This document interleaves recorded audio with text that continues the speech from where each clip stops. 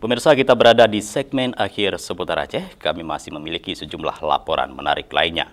Saudara untuk mengoptimalisasikan penerapan syariat Islam di Kabupaten Aceh Besar, Dinas Syariat Islam meminta masukan dari berbagai pihak.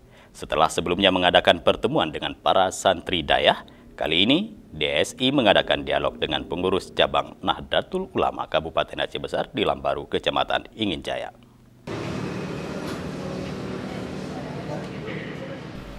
Dinas Syariat Islam Aceh Besar kembali melaksanakan rangkaian kegiatan pembekalan penguatan akidah dan pemahaman syariat Islam yang kali ini berlangsung di kantor pengurus cabang Nahdlatul Ulama di Lambaru, Kecamatan Ingin Jaya.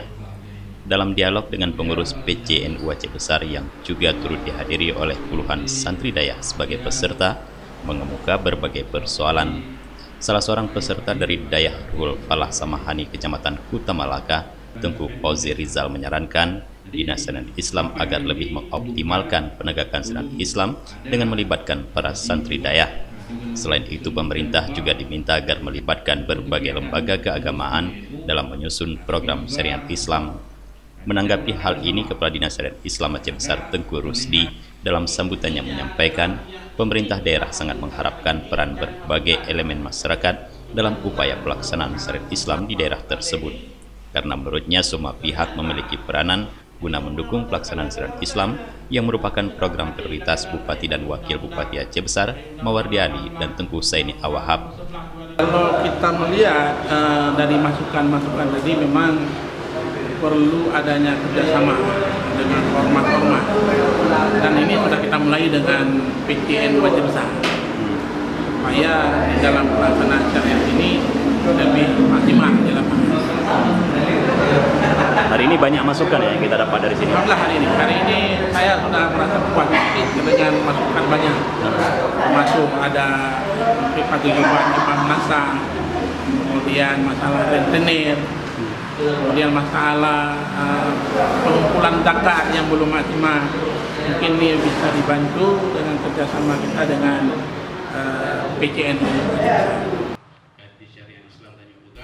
Kegiatan pembekalan penguatan akidah dan pemahaman syariat Islam ini merupakan kegiatan rutin tahunan Dinas Syariat Islam Aceh Besar.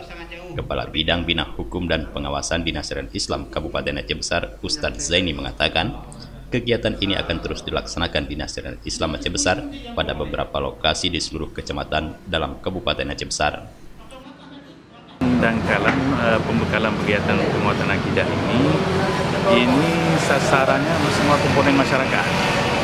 Tidak hanya uh, kepada elit politik saja tapi masyarakat itu sendiri. Karena yang terjadi pelanggaran-pelanggaran sekarang di eh, masyarakat itu sendiri.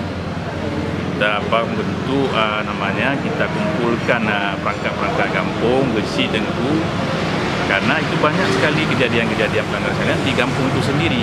Karena itu sasaran yang lebih fokus kita akan uh, kita buat di uh, kecamatan-kecamatan kita kumpulkan perangkat-perangkat kampung saya rasa itu lebih bermanfaat eh, Minggu depan kegiatan pembekalan penguatan akidah dan pemahaman syariat Islam dijadwalkan akan berlangsung di Kaju, Kecamatan Baitul Salam dengan menghadirkan Tengku Masrul ID sebagai pemateri.